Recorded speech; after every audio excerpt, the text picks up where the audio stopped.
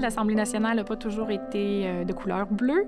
À l'époque, en 1886, quand les députés ont commencé à siéger ici, euh, les murs étaient blancs. Euh, en fait, la couleur blanche était temporaire, la salle n'était pas complétée, la décoration non plus n'était pas achevée.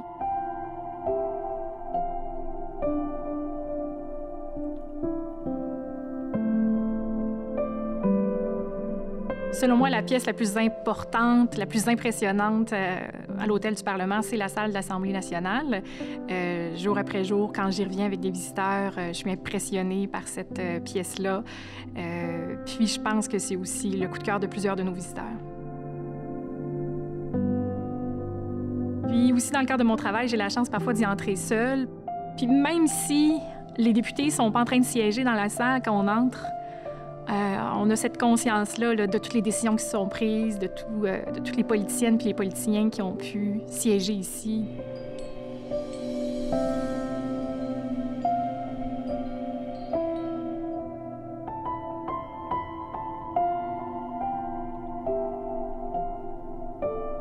Pour moi, il s'agit d'un espace extrêmement simple, une forme vraiment nette, une forme pure, mais qui reçoit un décor très, très élaboré, avec différentes textures, avec euh, les plâtres, les bois, euh, la feuille d'or.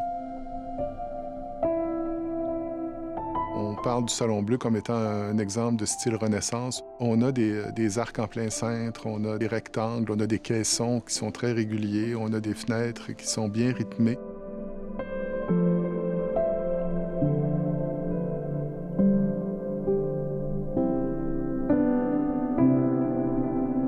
L'histoire du Québec à travers la décoration de Jeanne-Étienne Taché, ben, c'est sûr qu'on va présenter, euh, quand on entre dans la salle de l'Assemblée nationale, euh, les symboles dans la décoration qui euh, racontent le parcours historique des Canadiens français.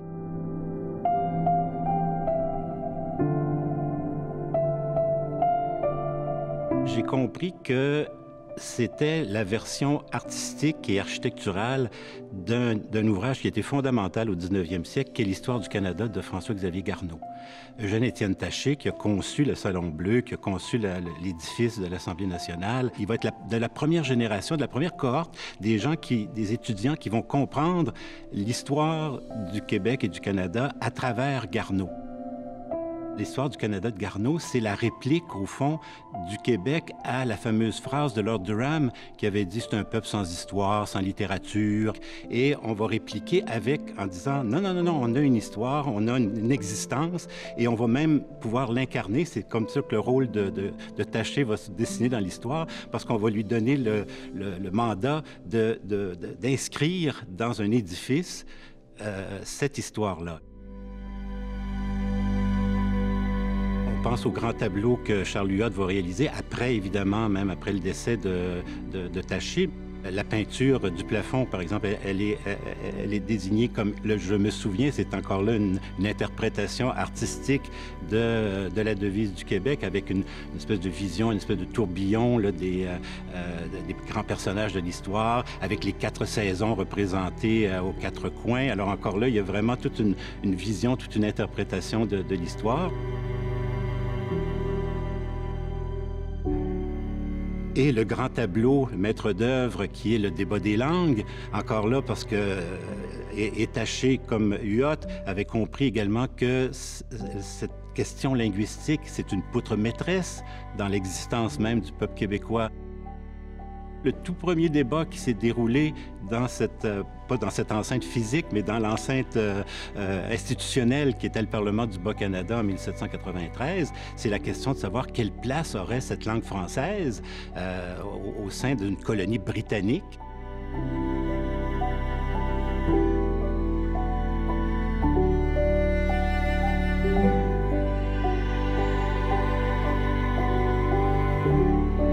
Seulement en 1901 qu'on a euh, peint les murs en vert, couleur euh, euh, toute désignée, parce que dans les parlements de type britannique, c'est la tradition, les chambres basses, là où les élus se réunissent, sont de couleur verte une couleur qui a évolué beaucoup dans le temps. Donc au départ, c'était peut-être un vert un peu plus pâle. selon les écrits, on parle d'un vert tendre à l'époque, pour évoluer au fil des années jusqu'à un vert très foncé, émeraude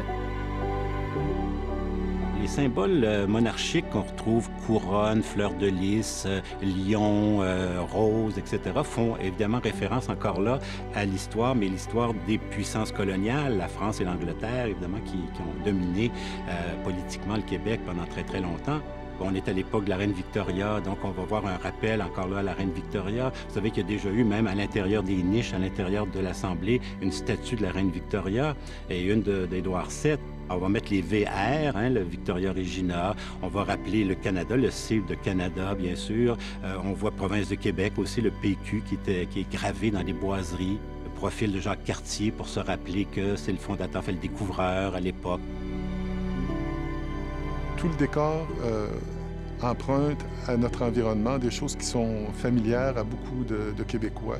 Euh, donc, euh, des motifs végétaux, des, feuilles de chêne, on a des roses, on a du bois, des fleurs de lys.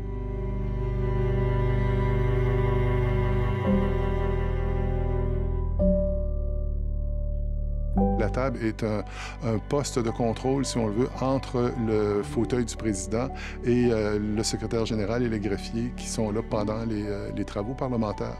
L'ancienne table euh, était littéralement surchargée de toutes sortes d'équipements et de toutes sortes d'accessoires le besoin est né vraiment de, repenser justement une nouvelle table qui, premièrement, devrait intégrer toutes ces, toutes ces fonctions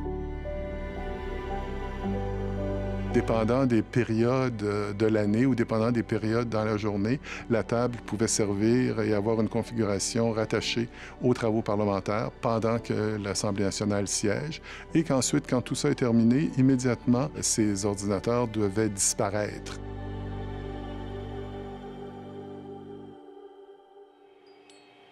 C'est sous Alexandre Tachereau que les lustres, c'est des euh, cristals de Bohème. Hein. On a fait venir ça de Tchécoslovaquie, mais avant-guerre, l'ancienne Tchécoslovaquie, évidemment, euh, qui était réputée pour avoir le cristal de roche et tout ça. Alors, ces lustres-là ont été ajoutés. Il y avait ce souci aussi de faire de ce lieu-là un lieu euh, de grandeur, un lieu de noble.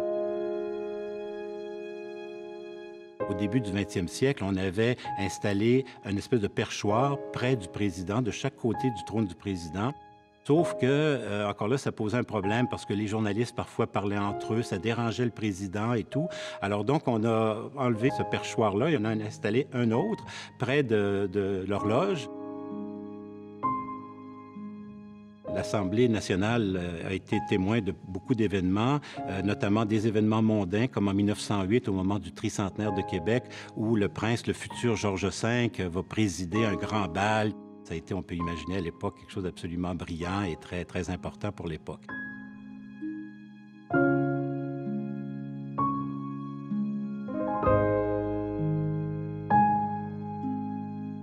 1977, un peu avant les débuts de télédiffusion qui ont eu lieu en 1978.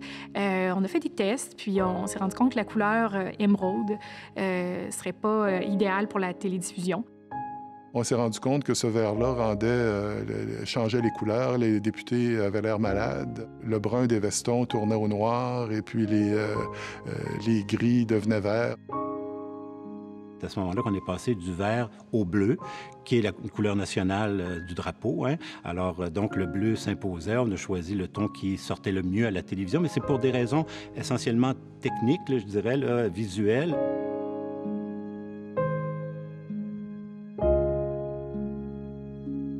Une tradition à l'Assemblée nationale qui est d'allumer quatre lumières au sommet de la tour centrale de l'Hôtel du Parlement, une tradition qu'on a depuis 1908, en fait, lorsqu'on a célébré le tricentenaire de la Ville de Québec.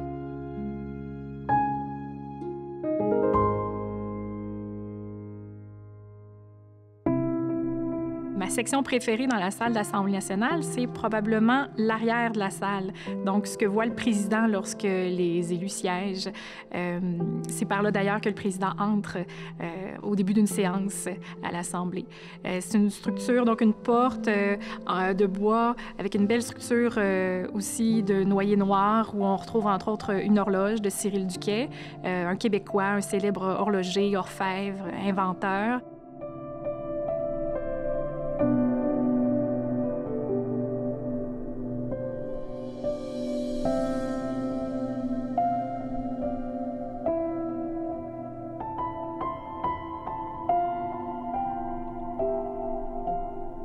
À chaque fois que j'entre dans la salle de l'Assemblée nationale, même si c'est parfois plusieurs fois par jour, euh, je suis impressionnée moi aussi, comme les visiteurs, puis j'ai un sentiment de, de fierté.